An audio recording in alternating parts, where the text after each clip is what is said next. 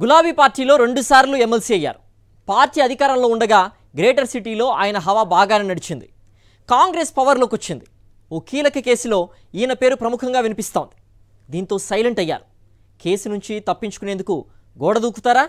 లేక ఎమ్మెల్సీగా అవకాశం ఇచ్చిన కారులోనే ఉంటారా? ఇంతకీ ఆ ఎమ్మెల్సీ ఎవరు? ఆయన మీదున్న కీలక కేసేంటి? Watch it Naveen Kumar alias Naveen Rao. గులాబీ పార్టీ ఆయనకు రెండుసార్లు ఎమ్మెల్సీకి అవకాశం ఇచ్చింది.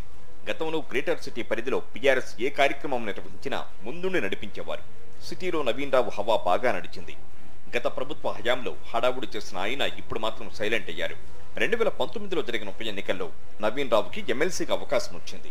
అప్పటి నుంచి గులాబీ పార్టీకి కేసీఆర్కు వీర విధేయుడిగా కొనసాగారు. అయితే కొద్ది రోజులుగా ఎమ్మెల్సీ నవీన్ రావు ఎక్కడ బయట కార్యక్రమాల్లో కనిపించడం లేదు. బీఆర్ఎస్ పార్టీని గత ప్రభుత్వాన్ని చుట్టుముట్టిన ఫోన్ ట్యాపింగ్ వ్యవహారం నవీన్ రావు వరకు వచ్చింది. రాష్ట్ర వ్యాప్తంగా సంచలనం సృష్టించిన ఈ కేసు పోలీసు అధికారుడే కాక రాజకీయ నేతల మెడకు చుట్టుకుంది. ఇందులో ప్రధానంగా నవీన్ రావు పేరు బయటికి రావడంతో ఆయన కొంత ఆందోళనకు గురైనట్లు తెలుస్తోంది. ముందుగానే ఆయన పేరు బయటికి రావడంతో భయపడ్డారనే చర్చ జరుగుతోంది.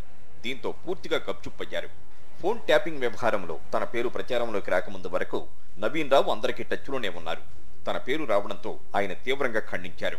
ఫోన్ ట్యాపింగ్ కేసులో ఎమ్మెల్సీ నవీన్ రావు పేరు బయటకొచ్చినప్పటి నుంచి ఆయన పార్టీ కార్యక్రమాల్లో కూడా పెద్దగా కనిపించడం లేదు. ఇప్పుడు ఆయన పార్టీలో ఉన్నారా? లేరా? ఉంటే ఏ పార్టీలో ఉన్నారు? అనే చర్చ జోరుగా సాగుతోంది. ఒకానొక దశలో పార్టీ మారేందుకు కూడా సిద్ధపడ్డట్టు ఆయన సన్నిహిత వర్గాల నుంచి వచ్చిన సమాచారం. అటు అధికార పార్టీ ఇటు ప్రతిపక్షం మధ్య ఆయన ఊగిసలాడుతూ ఉన్నారు. ప్రస్తుతం ఎవరు ఫోన్ చేసినా లిఫ్ట్ చేయడం లేదని నంబరు కూడా మార్చినట్టు తెలుస్తోంది. ఇటీవల మారిన ఆరుగురు ఎమ్మెల్సీలను కూడా నవీన్ రావే పంపించినట్టు సమాచారం. అధికార పార్టీలో చేరికతో కేసు విషయంలో కొంత ఊరట లభిస్తుందని నవీన్ రావు ఆశిస్తున్నట్లు తెలుస్తోంది.